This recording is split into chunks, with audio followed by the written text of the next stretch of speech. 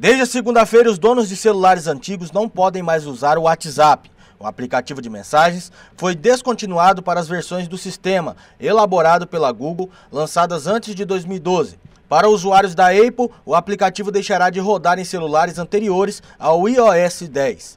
No caso do Android, a mudança atinge celulares com a versão 4.0 e anteriores, chamada de Ice Cream.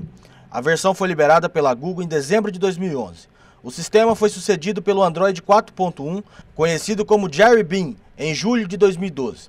Com a mudança, os usuários deverão atualizar o celular. Caso o aparelho não seja mais compatível com o sistema operacional, será necessário fazer o backup da conta do WhatsApp para salvar contatos e mensagens e transferir a conta para um aparelho mais moderno. Segundo o WhatsApp, a mudança atinge um número pequeno de pessoas, mas o percentual de usuários do aplicativo com esse sistema não foi informado.